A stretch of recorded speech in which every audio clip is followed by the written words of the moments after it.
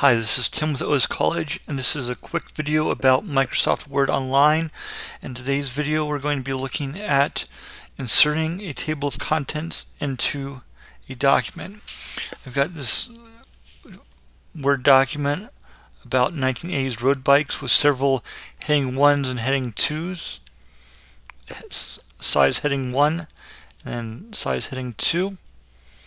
And simply what, what you want to do is insert the cursor where, where you want the uh, table of contents to be inserted.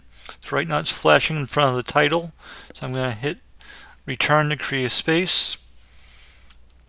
And I'm going to, it's already on references, but you need to go to the references ribbon and simply click table of contents to get the the, the drop down menu and then click insert table of contents and it puts it in the table of contents. And you can see heading ones are used as the main sections or chapters and heading twos and and smaller size head, headings are used as, as subsections in the table of contents. And also if if you make a change to the document such as I'm going to go to the bottom here and I've got the brand Trek. I'm just going to copy and paste that.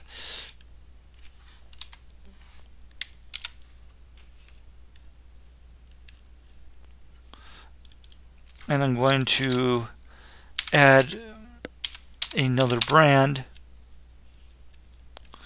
And then it doesn't show up automatically but if you simply click update,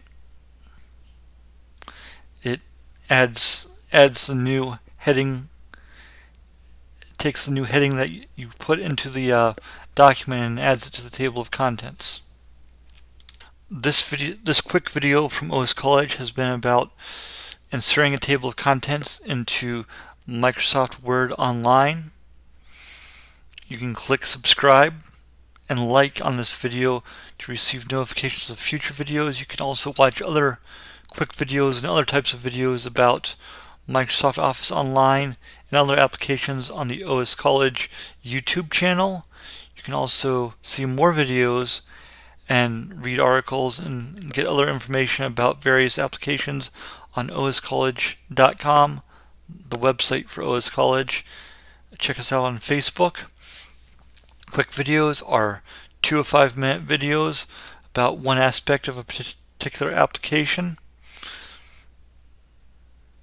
Uh, Microsoft Word Online is a version of of Microsoft Word that can be accessed through any web browser on any operating system, Windows, Mac, Chromebooks, and various Linux distros. Thank you for watching this video.